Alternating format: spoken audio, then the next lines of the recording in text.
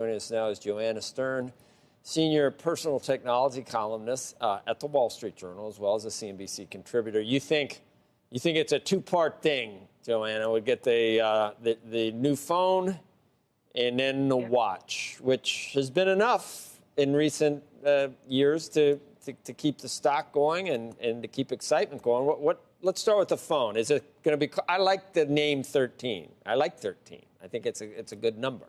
Think it's will it be the iPhone? Will it be the iPhone 13? I bet you thirteen dollars. It's called the 13. What do you think? All right, you got it. On it. it. All right. Well, first of all, I don't think it's going to make it to your to your wall of fame there, uh, because we're really in the incremental upgrade year, right? There's always the tick-tock cycle of the iPhone. And so last year with the 12, we got a big design refresh. We got 5G. It was a big year for the iPhone. This year, looking at incremental upgrades doesn't mean it's going to be boring. It's just going to be smaller upgrades. And again, that doesn't really matter to most people because they're not upgrading every year, right? We're really at a three to four year upgrade cycle for most people who have phones. So they will be getting substantial camera uh, camera improvements, better screen, better design, and now 5G too, because those people haven't had 5G. My camera's awful good. Uh, in fact, they, with pictures that selfies, it's too good. Joanna, or maybe it, it, could it be? Uh, will it automatically fix some of my flaw? What, how's it going to be a better camera? Even more resolution or, or better background? What, what's how's it going to be better?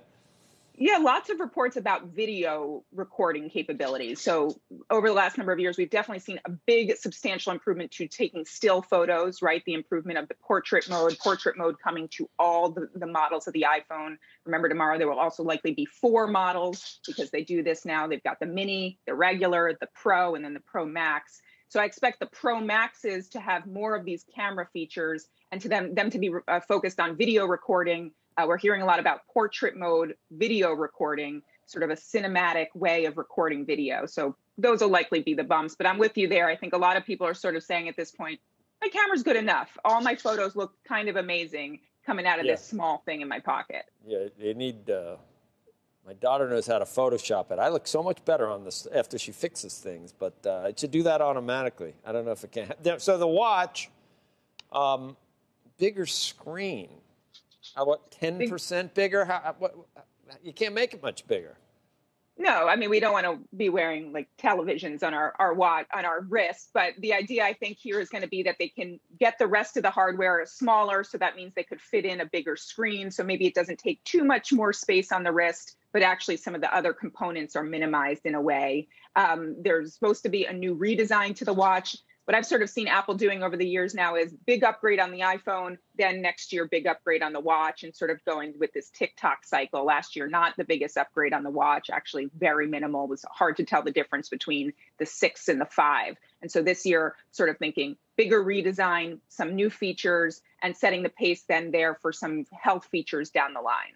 I wonder if they got it down in terms of blood pressure and, and the, the health things. Because obviously our, our glucose levels, it, it's going to have to be algorithms based on something that they can measure easily from, from outside, basically outside of your body. So I, I, I don't know that will, is it, are they, have they got it down to where they could be within 10% of the actual numbers, do you think? I'd like to do it. I'd like to lower my blood pressure, lower my heart rate with biofeedback, things like that. They've definitely made strong improvements over the years in the health features. The journal has actually been reporting over the last couple weeks that they have a lot more in store around that glucose monitoring, around temperature monitoring. But the thought is is that this year might not see those upgrades, and that would be the next uh, series next year. We really we got to go, but the Epic, uh, good or bad? Some people say they're, they're not a monopoly, so it was a good decision. But the stock was down. What do you think? Apple's saying I got an email from Apple over the weekend. Their their chief legal counsel saying, you know, this is a win for Apple. Uh, I was pretty, you know, some strong language saying, you know, we repeat, this is we are not a monopoly. So they are definitely right. hanging their hat on that.